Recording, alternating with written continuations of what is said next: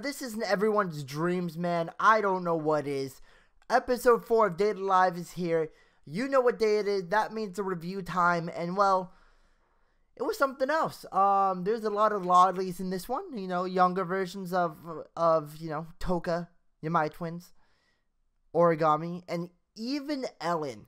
And I, I understand what you're saying right now. Lolly's Truman, how, how is that even possible? Dude, they're adorable. The lolly versions are adorable. FBI, open up!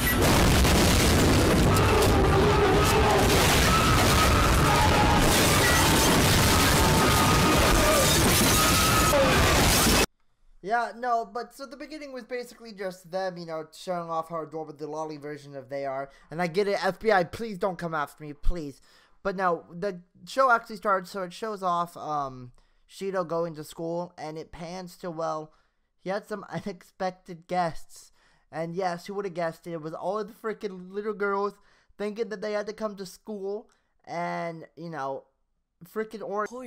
飯塚君にお客さんが来てるんですけどその曲それがシドやはりここか Origami has to be origami, and she instantly is like, Thank you for being my father's freaking friend. So she's playing off that she's Shido's daughter. お嬢ちゃんお名前は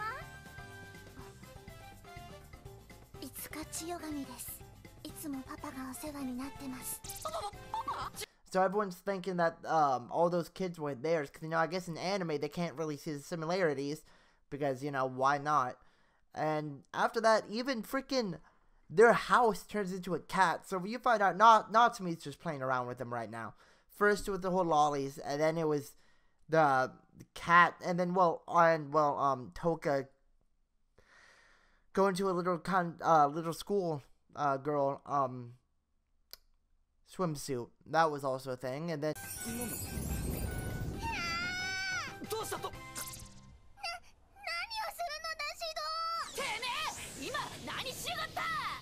as well as them turning into bunny costumes and Natsumi's just Natsumi's just having her fun.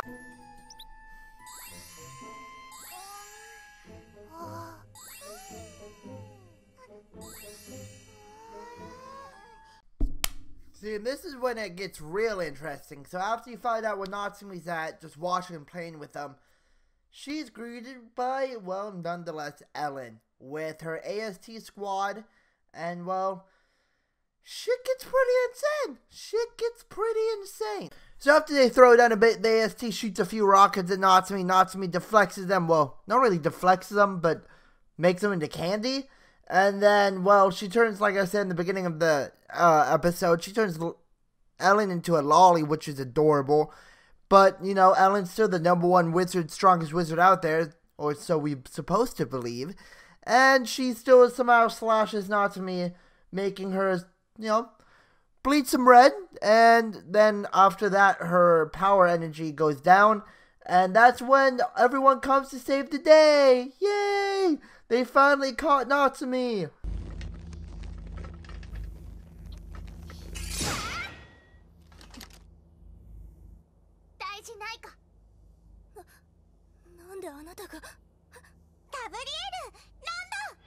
So you know, after they saved Natsumi, you would think, oh, big happy ending. No, you uh, you remember the people who got their arms chopped off by Ellen? Were they back. They are planning and scheming to drop eight satellites that they're not using from the DEM and drop it on Tengu City. Now, if I don't, if, if you don't think that's a bit of an overkill, overkill, I don't know what is. Like Jesus, man, your arms are back. Don't worry, they're not completely, you know, gone. You got them back. You don't have to drop satellites on a city, you freak. But you know, they they try it. Well, not yet. Probably in the next few episodes, or they're just gonna get destroyed by Westcott, which would make sense. Ooh, now we're planting seeds for origami. Oh, woo! No, so basically what's happening with her is that the, I mean, there's people chasing her. There's people who want to, I think, end her life. I don't know. But she's basically wanted right now. She's running away from all these suited men. And, well, yet again, Ellen comes up and is like, yo, origami, join me. And origami's like, uh, uh. And Ellen's like, don't fuck up. Origami's like, uh. Now there's there's a lot more to that ending with the whole origami thing, but we gotta pan back to the cuteness, alright. So they have Natsumi all captured up and everything like that. And for some reason, Natsumi can't use her form, so she's back to the lolly adorableness that she, you know, should be 24 7. Um, but she doesn't like it. Her just her meters aren't going up. She doesn't feel comfortable in her own body. So for some reason, they thought it would be a good idea to quote unquote transform her.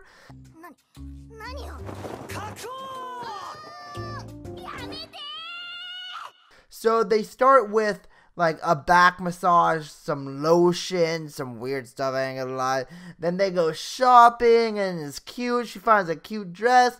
They also get her hair done, and then well, you know, a surprise, a surprise, surprise, surprise comeback of Shiori. I don't know why they had to add Shiori, Shiori to it, but you know why not? Add add a lot more comedic relief to it, and Shiori well, she actually kind of shows off that she um she's Shido, and Natsumi just calls him a pervert.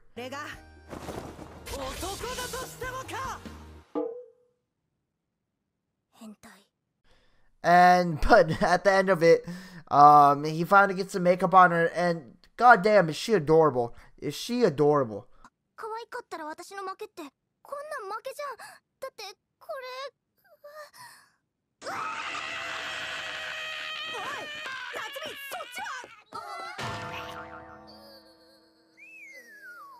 So after just all the cuteness that happened, we turn back to origami and Alloway getting stuck by all the guys. I mean, she's cornered. There's nothing she can do, right? Wrong. She is a voice. She is a voice. All like, yo, origami. Remember the fire that happened five years ago that you know completely destroyed your family? Don't you want revenge? If you join us, we will let you have all the power you need and release your full potential. Sadly, she says yes, and with origami, I think she's good with her words. So, welcome origami to the DM industry. Ellen got to her. It's it's official. She uh she agreed to be under or uh Ellen's Ellen's arms. So uh episode five is gonna be amazing. But with that, it ends episode four. So if you guys enjoyed this episode, hit the like button, subscribe, obviously, and in the comments, tell me what your favorite part of episode episode four was, as well as tell me what you know if you want to see another review anime series. Like I don't know if you guys want me to do one with one that's going on right now, like that Shield one with the raccoon. That's adorable. Or if you guys want to do me like older up uh older animes I could review or gaming, it's really up to you guys. I mean, you guys kind of tell me what to do and I'll do it. Obviously, I'm also getting sick. I'm not gonna lie. Ugh. But yeah, you guys have a good day, morning, and night, and see you guys next time.